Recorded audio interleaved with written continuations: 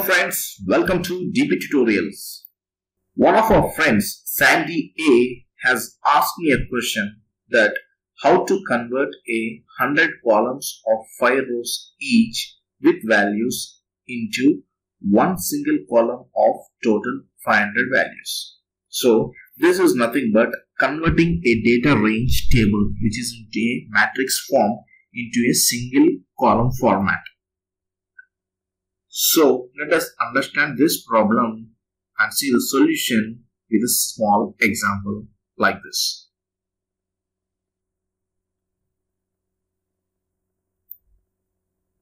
Here I am considering an example with the data range from A5 to C8 that is 3 columns and 4 rows. Now let us convert this into a single column. Okay.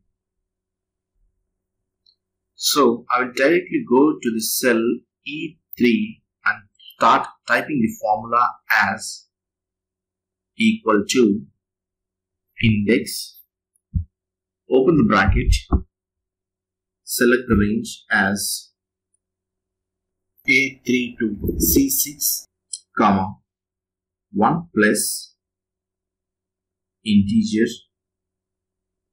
open two brackets, type row, open the bracket, A1, close it, minus 1, close the bracket, divided by, that is oblique, columns.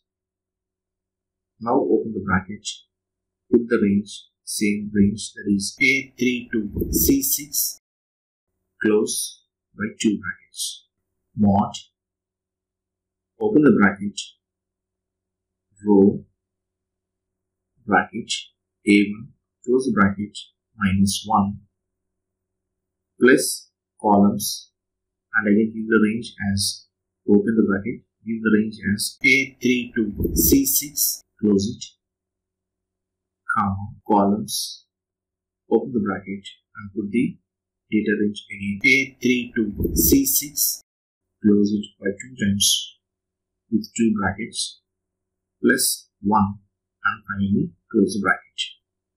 Now this is the formula that is required to convert your data range which is in matrix format into a single column.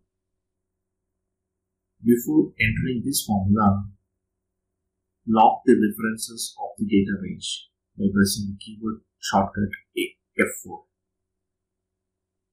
Okay. A3 and C8 I am locking the references.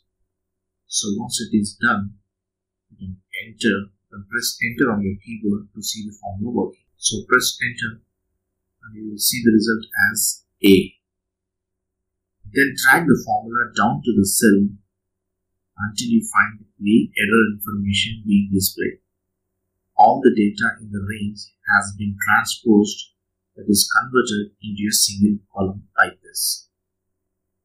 So you can apply the same trick with the any number of rows and columns and you can convert them into a single stack column. So friends, in this way, you can convert multiple rows and columns into a single column in Excel in a very easy way. So friends, I hope you enjoyed this video tutorial. If yes, please do give me a like, share and comment. For further more interesting videos, please do subscribe DP Tutorials. Thank you friends. Thanks for watching.